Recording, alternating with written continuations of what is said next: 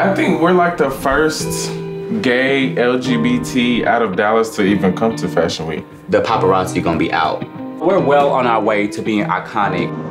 We wanted to change before the shows just because we knew that photographers are going to be outside of these shows. I think it's super admirable and dope that we are here in New York, finally seeing the fruits of our labor. For us, being black, being gay, being men, being under 30, I think we have a point to prove. And then we walk up and they're like, do you want to be a part of Vogue?